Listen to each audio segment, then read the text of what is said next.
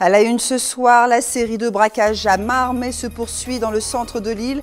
Ce vendredi, un sexagénaire s'est fait dérober sa moto à la ZAC de Rivière-Roche. Il a accepté de nous raconter sa mésaventure. La tempête Harvey s'éloigne de nos côtes. Son passage sur l'île n'a causé aucun dégât majeur. De retour au vert, nous ferons le point dans ce journal avec un spécialiste de Météo France. Edith Velayudon est le nouveau visage des Républicains de Martinique pour les élections sénatoriales. Un choix applaudi et soutenu par l'ensemble du parti LR. Et puis revirement dans l'affaire Hervé Pinto, la Poste annule l'accord de fin de conflit signé le 17 juillet dernier. L'entreprise décide de suspendre le postier de ses fonctions professionnelles. Mesdames et messieurs, bonsoir, bienvenue dans votre tranche info un journal que vous pouvez suivre en direct sur Facebook. Nouvelle série de braquages à main perpétrée ce vendredi entre Fort-de-France et le Lamentin. L'une des victimes un chef d'entreprise d'une soixantaine d'années a été sommé de descendre de sa moto alors qu'il effectuait une course professionnelle à la ZAC de Rivière-Roche. Son témoignage a été recueilli par Kathleen Bilascopette et Michelet François. C'est ici, peu après la déchetterie de Dillon, que Jean-Claude Fidelin, circulant sur un scooter de type SH300, est accosté par une moto avec deux individus à bord. L'un d'entre eux dissimule un fusil à canon scié. La suite, c'est la victime qui la raconte. Il m'a assuré sous la, sous la droite et il a sorti de sa chemise un fusil. Et il m'a dit Donne-moi la moto, sinon je t'éclate la tête. Ah, j'étais obligé de m'arrêter, que je me suis arrêté. À ce moment-là, je ne voulais pas lui remettre la moto. Il m'a dit Tu veux que je tire? Et il m'a mis le, fusil vers moi et puis j'étais obligé de remettre la moto. Attaqué en plein jour en se rendant sur son lieu de travail, pour ce chef d'entreprise, l'incompréhension est totale. J'ai jamais pu penser que ça m'aurait arrivé. Parce que je, je roule, je dis bon, moi, quand même, une moto, euh, je ne pensais pas que la journée, je ne roule pas la moto le soir. C'est pour ne pas avoir ce genre de problème.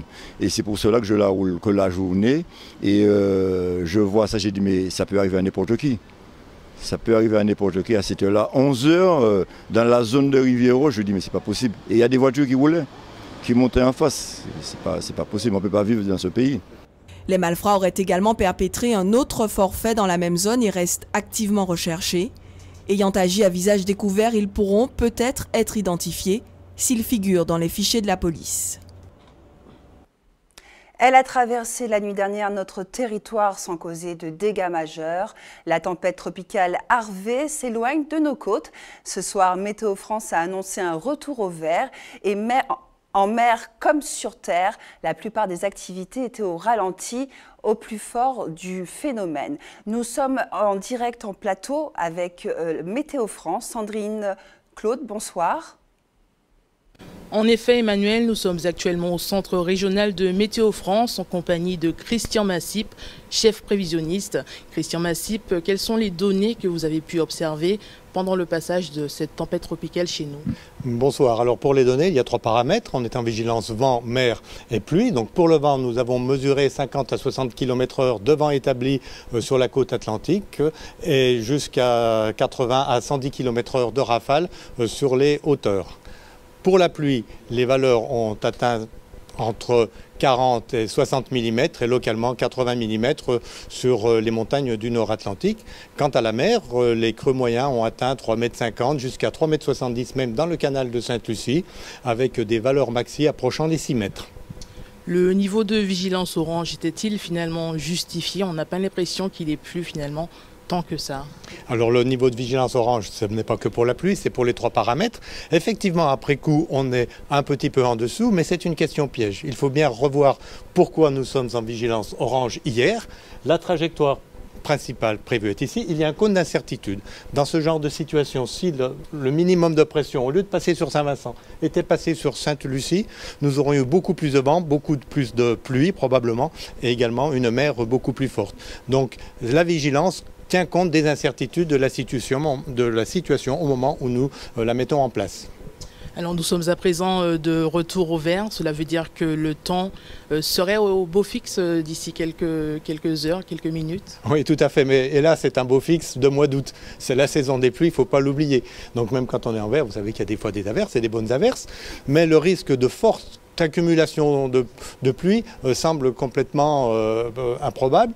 donc en conséquence, ce n'est pas la peine de rester dans des postures de vigilance qui contraignent effectivement les activités. Et donc nous avons choisi de retourner au vert dès ce soir.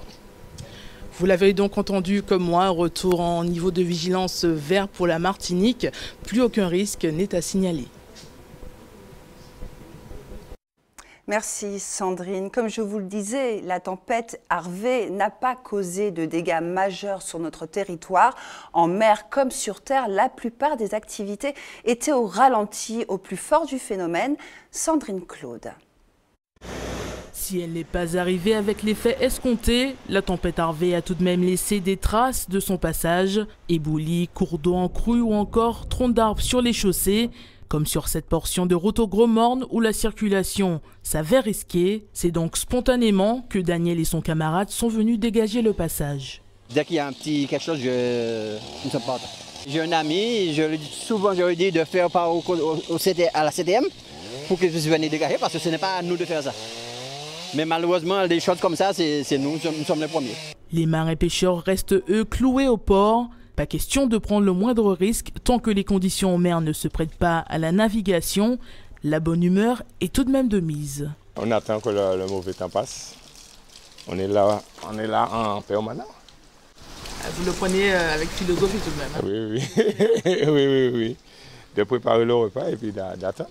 La journée déjà est déjà presque finie, alors bon, on discute, on est là, on vient regarder s'il n'y a pas trop d'eau dans les embarcations. Roger, lui, fait partie des derniers travailleurs de la mer à sécuriser son embarcation. Dans un premier temps pas inquiet de l'arrivée de la tempête, il préfère jouer la carte de la sécurité. Comme lui, c'est à ce même quai que plusieurs marins pêcheurs des communes avoisinantes ont trouvé refuge. Lorsque j'ai écouté le bulletin, j'ai vu qu'il sort au point de Sainte-Lucie, au nord de Sainte-Lucie. J'ai dit, bon, peut-être qu'ils pourront nous intéresser. Alors avant qu'il y ait de la pluie, il faut quand même les trucs à l'abri.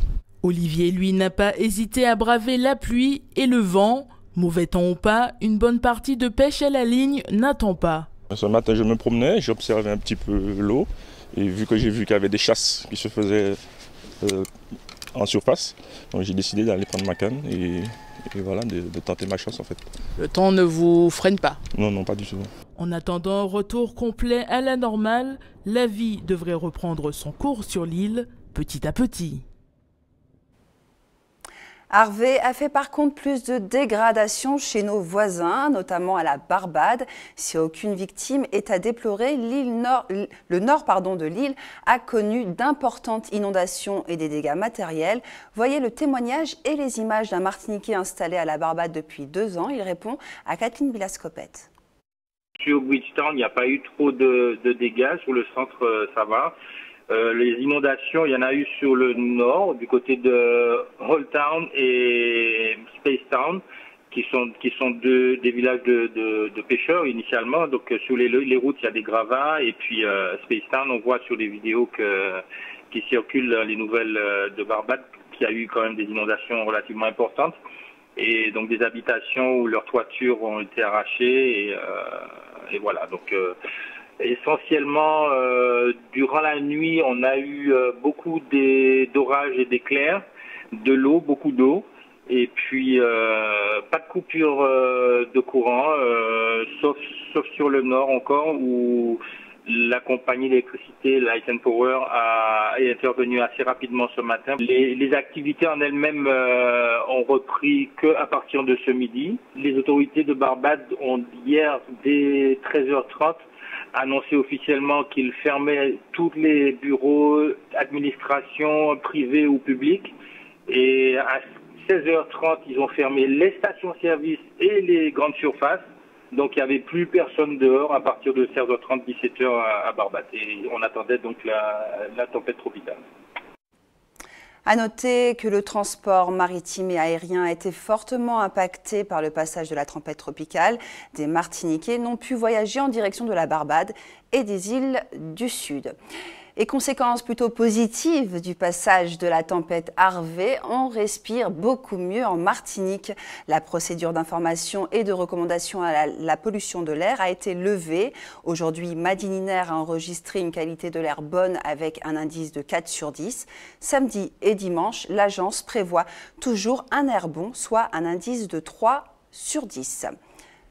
Voilà ce que l'on pouvait dire sur le passage de la tempête Harvey en Martinique. Nouveau rebondissement dans l'affaire Hervé Pinto La Poste. L'entreprise annule l'accord de fin de conflit du 17 juillet dernier, conclu entre les deux parties. Elle estime que le document est nul et non avenu car il aurait été signé sous contrainte. Pour rappel, Hervé Pinto a mené une grève de la faim pendant plus d'un mois pour contester entre autres un cas d'harcèlement moral et une mobilité interne.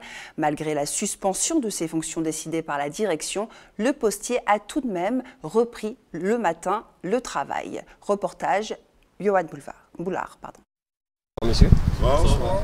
Accès n'est pas autorisé malheureusement. Alors je viens pour euh, ma prise de service normale, conformément au protocole, d'accord, signé le 17 juillet de cette même année 2017. Mais la direction a dit qu'à l'heure actuelle, l'entrée est interdite au public. Alors pouvez-vous me décliner? Accès interdit à Hervé Pinto. C'est par une lettre reçue avant-hier que le syndicaliste prend connaissance de ce revirement de la part de sa direction. Le protocole pourtant acté un mois plus tôt entre l'avocat d'Hervé Pinto et le directeur régional serait nul. Après 34 jours de grève de la faim, il devait récupérer son poste aujourd'hui. Une fin de non-recevoir dont il s'est entretenu avec son avocat plus tôt dans la matinée. Il pas qu'à signer ça parce qu'il signé sous contrat. L'homme se dit déçu, mais pas surpris. En conflit depuis plusieurs années déjà avec l'institution, il affirme avoir plusieurs jugements en sa faveur qui ne seraient pas appliqués. J'ai déjà gagné deux procès importants dans cette affaire-là.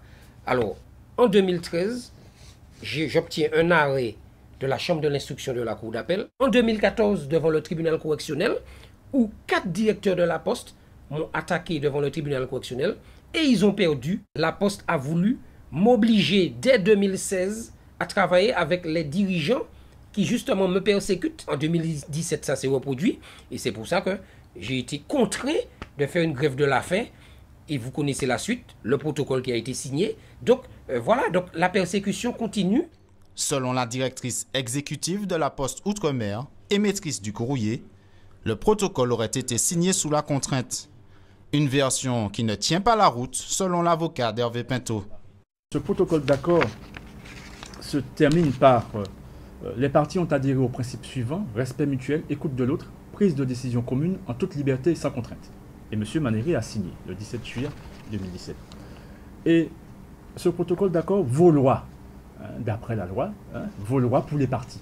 Nous avons tenté à plusieurs reprises de joindre la direction de la Poste sans succès Selon M. Blaisès, chef d'établissement, aucun interlocuteur local ne pourrait répondre à nos questions. L'affaire serait passée aux mains de dirigeants nationaux. Vous l'aurez compris, Hervé Pinto voulait reprendre son poste. Il s'est rendu à son poste de travail, mais il n'a pas, euh, pas pu euh, entrer euh, au bureau. Excusez-moi. Politique à présent, les républicains de Martinique ont choisi leur candidate pour les élections sénatoriales. Elle s'appelle Edith Velayudon et son suppléant Edith Louis Alexandre, encore méconnu du paysage politique. Cette principale de profession a été choisie parmi cinq candidats. Elle n'en a pas elle n'en est pas à sa première expérience. Elle s'est engagée auprès de Yann Monplaisir en qualité de suppléante lors des élections législatives. Et depuis 2015, Edith Velayudon siège au Conseil national des Républicains. Voyez les explications de la candidate et celles de Fred Michel Thiraud. Ils répondent à Johan Boulard. Il y a trois gros dossiers qui nous semblent importants pour la Martinique. C'est l'indivision, hein. donc nous devrions encore travailler dessus. Nous avons le deuxième, euh, deuxième volet, c'est la zone de revitalisation des rurales. Ce sont euh, des lois qui permettent des exonérations euh, concernant les entreprises. Il nous faut développer particulièrement le, nord de la Martinique et les communes qui sont au centre parce qu'elles ne bénéficient pas de, l'atout du littoral, de la plage, de la mer et elles sont tout aussi riches et elles ont aussi des habitants ben, qui paient leurs impôts et qui ont besoin de garder leurs enfants, d'avoir, ne plus avoir de désert médical. Et ça aussi, c'est important pour nous. Aujourd'hui, on a besoin de femmes. Euh, effectivement, dans le monde de la vie politique, parce qu'il y a une vision différente, il y a une expertise qui est différente, une approche peut-être un peu plus humaine. Et euh, Edith euh, fait partie euh, de ces femmes qui pourront apporter un plus pour la Martinique. C'est celle qui répondait le plus aux critères que nous avions fixés, c'est-à-dire la compétence, l'ancienneté dans le parti, la loyauté par rapport au parti et la disponibilité, parce que nous estimons qu'un sénateur, un parlementaire plus généralement, doit être disponible. Il ne doit pas avoir plusieurs casquettes. Donc Edith Velayoudon correspondait parfaitement aux critères que nous avions fixés. C'est pour cette raison que notre fédération soutient Edith Villayoudon et son suppléant Edith Louis-Alexandre. Euh, aujourd'hui, le Sénat est à droite et il y a de grandes chances qu'il le reste. Euh, donc euh, il serait intéressant que nous ayons un sénateur du côté de la majorité du Sénat. Ce n'est pas seulement les rangs des républicains qui seront plongés dans une quasi-obscurité lundi 21 août, mais bien toute l'île en cause. Une éclipse partielle du Soleil pourra être observée entre 14h et 16h environ. Ce phénomène est rare, la 11e depuis le début du 21e siècle, et tout naturellement, il crée un fort engouement, mais ce n'est pas sans danger pour notre santé. Des lunettes spéciales éclipse sont indispensables pour protéger petits et grands des puissants rayons ultraviolets. Ainsi, depuis hier, les pharmacies sont prises d'assaut par les clients pour se procurer le produit tant recherché. Avant d'en parler avec notre invité, le docteur Guy Richard, voyez les quelques explications recueillies par Sandrine Claude et Michelet François. C'est vrai que les gens n'étaient pas très au courant euh, récemment et euh, c'est plus à partir de hier soir en fait que euh, les gens sont arrivés en masse. Là on en avait une trentaine hier qui est partie vraiment enfin, après 18h. Euh, et là, on en a recommandé euh, plus d'une centaine pour, euh, être approvisionnés pour le week-end. C'est vrai que généralement, pour avoir déjà vu une éclipse comme ça aussi en métropole, les gens sont quand même très intéressés et recherchent souvent au dernier moment en plus les lunettes pour la regarder.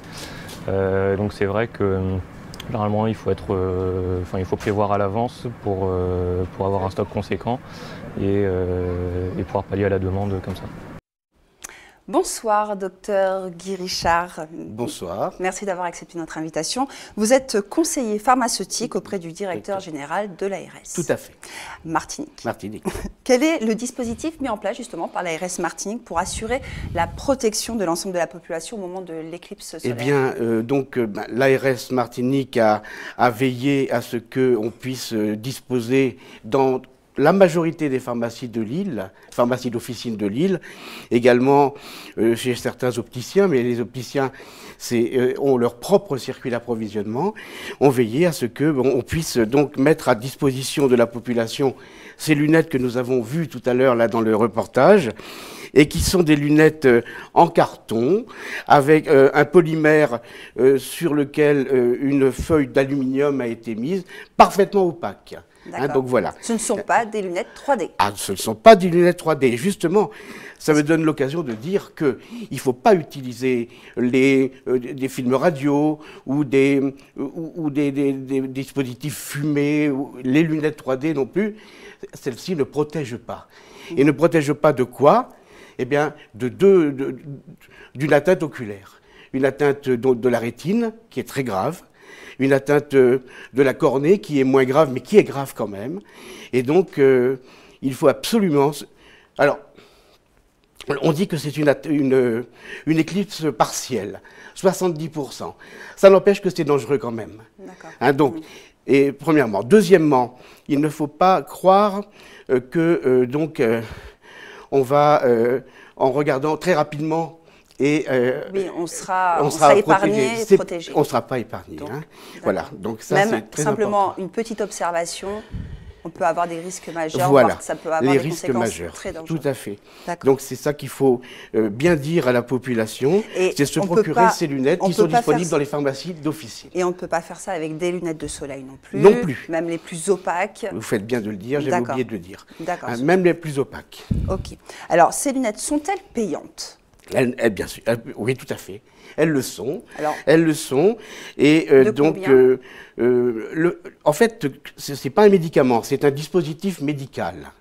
Et donc, le, le prix de ces lunettes est, est fixé librement par le euh, pharmacien d'officine. En fait, Oui, mais hein. pourquoi alors mettre un prix alors qu'il en va quand même de la santé publique Bien euh, évidemment. de la population Bien et que tout le monde peut être exposé, même chez soi, à cette, euh, à cette éclipse? Oui, et donc, tout à fait, tout à fait. Donc, euh, euh, c'est parce que ces lunettes euh, ont un prix de, de revient.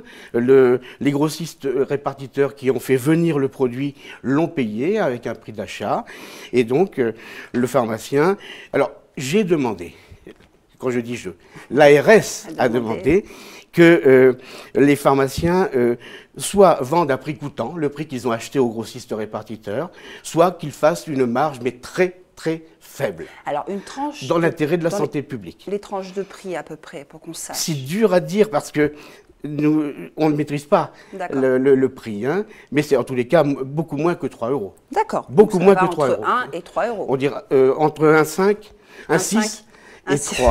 Vous avez fini par me le faire dire. Ben oui, sans que voilà. je puisse m'engager fermement. D'accord. Euh, combien de lunettes sont disponibles aujourd'hui en Alors, Martinique il y a des milliers de lunettes. hein, voilà, donc, Parce euh, qu'on a eu cette polémique où on avait du mal, des, des clients souhaitaient se, pro- Mm, mm. euh, se procurer cette, euh, Voilà, cette donc, euh, lunette et c'était compliqué. Voilà. Donc euh, les, les- les lunettes sont disponibles euh, en quantité, à mon avis, nécessaire et suffisante. Hein. Alors, ce qu'il y a, c'est que on n'est pas obligé de regarder non plus. Hein, donc, et si on veut regarder, il faut se protéger. Alors, si l'on se procure ce genre de lunettes en dehors d'une pharmacie, comment s'assurer qu'elles soient efficaces? Alors, le- le- la seule chose qu'il faut retenir, c'est euh, que ces lunettes doivent avoir, est-ce qu'on voit là? Oui, oui, on- Avoir le marquage CE. Mhm. Donc c'est le marquage européen qui prouve que ce dispositif médical a bien euh, est conforme. D'accord. Euh, donc, si l'on retrouve aussi une autre question dans ses affaires personnelles, des anciennes lunettes, de protection Eclipse, spéciales Ex- Eclipse, est-ce qu'elles sont réutilisables? Non, elles ne sont pas réutilisables. Par exemple, celles que euh, les, euh, les Martiniquais avaient pu acheter en 2006 lors de la dernière éclipse, du- qui était une éclipse encore plus partielle, 55%, eh bien, euh, elles sont, elles s'altèrent avec le temps. Donc elles ne sont plus efficaces. D'accord. Et j'avais aussi une question. L'éclipse solaire sera visible entre 14h et 16h. Tout à fait. En pleine période de grandes vacances. Beaucoup vont profiter hein, de la mer et, et de la plage. Est-ce dangereux également pour la peau? Non pas, enfin me semble-t-il. Euh, non, non pas me semble-t-il, puisque ce, ce qu'il faut craindre, ce sont les UV, hein, donc, et puis la, le- le- la chaleur. Mais ça, c'est quelque chose d'habituel. Hein. Mhm. Donc, euh, euh, à mon avis, euh, mais bon, euh, je crois qu'un un médecin pourrait mieux encore euh, euh, l'indiquer. Ce- ne sera pas euh, euh, dans- plus dangereux que d'habitude pour la peau si on fait Il des protections protéger, habituelles. et encore, si on ressent une douleur ou une diminution oculaire après euh, l'éclipse, quelles sont, Alors, que faut-il faire la, en priorité? La première chose à faire, c'est d'aller voir son médecin traitant. Hein, donc, absolument. hein, dès que, on- si on a des petites brûlures, des sensations de, d'irritation de, ou de, de, cou- de, de- de larmes qui coulent euh, de façon euh, abondante, etc., je crois que, sans hésiter, il faut aller chez le médecin traitant. Et qui ensuite euh, va, va faire un diagnostic et pourra orienter vers un ophtalmologiste, etc. Hein, c'est le médecin traitant. C'est le médecin traitant. Voilà. Merci, docteur Guy Richard, d'avoir répondu à nos questions. Je vous en prie. Euh, donc, n'oubliez pas l'observation de l'éclipse solaire partielle, lundi 21 août entre 14h et 16h. Et n'oubliez surtout pas ces fameuses lunettes euh, spéciales éclipse. Direction la Guadeloupe qui se serait bien passée, elle, du retour des sargasses. Un plan d'urgence contre ces algues brunes a été établi à Goyave. La municipalité et les marins-pêcheurs, dont l'activité est fortement impactée, se sont associés pour faciliter la mise en place de ce dispositif. Reportage Yvan Lemar. Le plan d'urgence contre les sargasses viendra compléter les moyens déjà mis en place par la mairie. Ce plan se déroulera en trois phases. La première phase va commencer la semaine prochaine où nous avons fait appel à des entreprises prestataires qui vont venir collecter toutes les sargasses qui ont déjà échoué, notamment sur la plage de Sainte-Claire que vous voyez ici, également sur le port de pêche et sur la plage de Sarcelles. La deuxième phase va consister, après avoir enlevé euh, les sargasses, à faire de la prévention. On installera, avec l'aide des marins pêcheurs, des filets pour retenir les sargasses qui viendront en mer et qui à ce moment-là seront collectés par un bateau sur mer. La troisième phase, euh, qui est la plus importante également, avec l'aide des marins pêcheurs, nous allons euh, lancer une opération de récupération des sargasses qui se trouvent au niveau des fonds marins euh, tout autour des récifs coralliens. Le coût de ce plan est estimé à 200 000 euros. Un conseil municipal d'urgence sera convoqué pour définir et inscrire une modification budgétaire. La CANBT et les collectivités régionales et départementales ont été sollicitées, mais la mairie espère surtout une aide de l'État. Une crise aussi grave, j'aurais souhaité que la ministre des Outre-mer vienne en visite euh, en Guadeloupe, puisque nous sommes dans une situation particulière. J'entends euh, des parlementaires dire qu'ils vont faire, mais pour l'instant, lorsque je vois qu'en Bretagne, il y a des pollutions aussi peut-être moins importantes quelquefois. Vous avez deux, trois ministres qui arrivent. Une convention avec les marins pêcheurs de Goyave, Cap-Esterbello et Petit-Bourg sera signée dans les prochains jours. La première phase de ce plan d'urgence devrait commencer la semaine prochaine.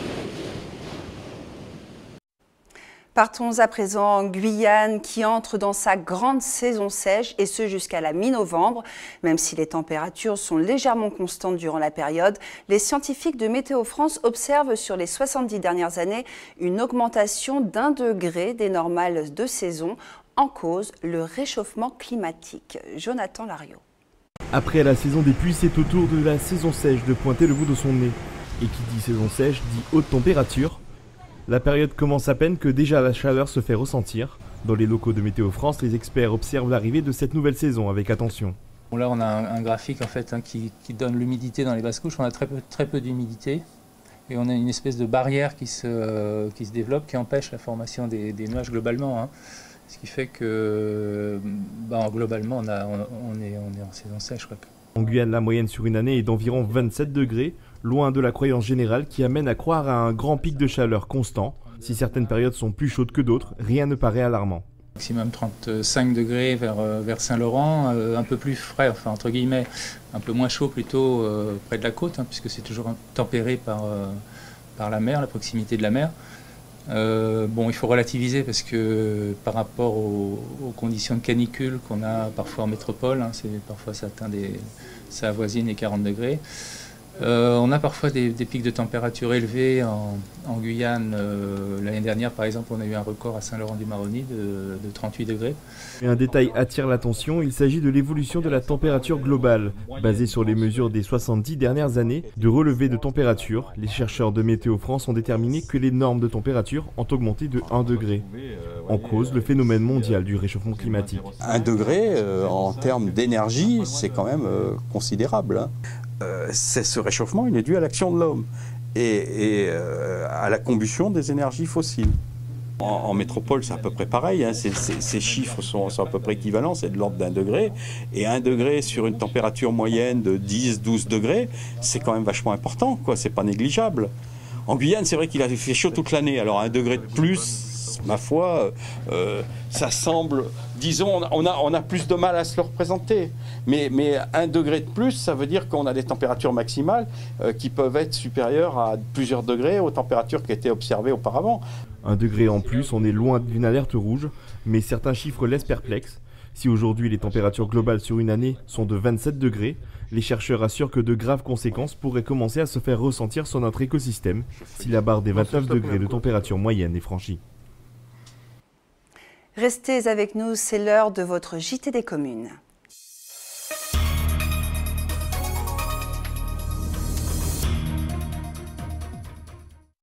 Direction à présent les trois îlets avec Missier Crépin et ses trésors vestimentaires des plus originaux. Son leitmotiv, la plus belle sape. Hubert Bornil et Loïc Régis ont rencontré ce sapeur, version locale, regardez. À la commune Toisilé, il y a un bel petit quartier, ni des belles laries aussi, des noms très agréables comme la rue Neuve. C'est là où habite M. Pierrot Crépin. Il dit, moi, c'est un grand homme qui botte tout bonnement, est tout bonnement. C'est où, M. Crépin? Oui, Bonjour, M. Dorly. Bonjour. Oui. Il dit, mon grand enfant, l'eau belle bagaille. Oui, venez, belle bagaille. Eh bien, on va aller. Oui, on va aller. T'as là, c'est Pierrot Crépin. T'as là, c'est Luciane. Madame, moi qui est décédée. T'as là, c'est Ové.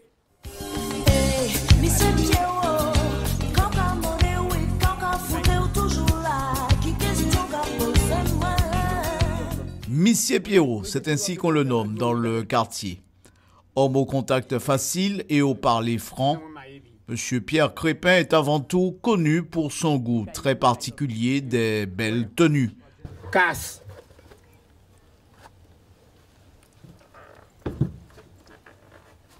Cowboy. Ça sent brûlé. Mais putain, regarde ça, à mon bateau. C'est un qui des gouttes. Regardez l'on il a venu un genou.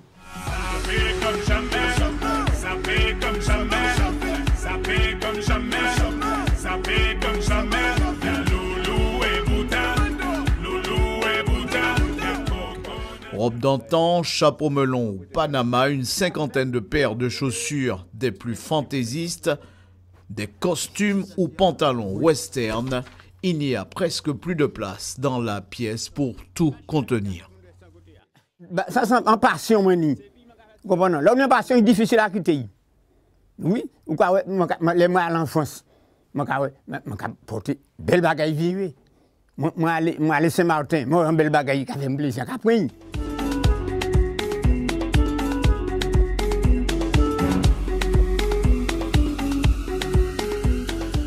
Mwen ka sante rali men. Mwen ka fè ki nou tan konser mwen mwen. Musée. Ça, c'est pour nous visiter gratuitement. Donc, bon, quand avons parti. Bon, ben, monsieur Crépin, regardez, moi, moi, drapé en, en veste Regardez, moi, oui. habillé comme moi. Oui. Vous disiez Soit pensez du petit chapeau. Ça il, bien. Hein? Oui, il bien. Eh ben voilà. Oui, très bien. On peut euh, se parler comme moi. Félicitations. Oui, Merci. Ben, J'ai été apprécié. Et puis, monsieur Crépin, on peut venir voir toute la semaine, ah, tous les jours. Tous les jours. 32 ou 9. 32 ou 9. Pas une pièce problème. C'est la fin de votre édition. Merci de l'avoir suivi. Avant de se quitter, je vous rappelle les principaux titres développés dans ce journal. La série de braquages à main armée se poursuit dans le centre de l'île. Ce vendredi, un sexagénaire s'est fait dérober sa moto à la ZAC de Rivière-Roche. Il a témoigné dans ce journal. La tempête Harvey s'éloigne de nos côtes. Son passage sur l'île n'a causé aucun dégât majeur. De retour au vert, un retour à l'alcalmie est prévu demain dans la journée. Edith Velayoudon est le nouveau visage des Républicains de Martinique pour les élections sénatoriales. Un choix applaudi et soutenu par l'ensemble du parti LR. Et puis revirement dans l'affaire Hervé Pinto. La Poste annule l'accord de fin de conflit signé le 17 juillet dernier. L'entreprise souhaite suspendre le postier de ses fonctions professionnelles. À suivre votre bulletin météo complet présenté par Ruth Fortuna. À 20h vendredi, tout est parmi avec Arthur, suivi de deux épisodes de votre série Arrow. À demain. Merci de votre fidélité. Bonne soirée sur ATV.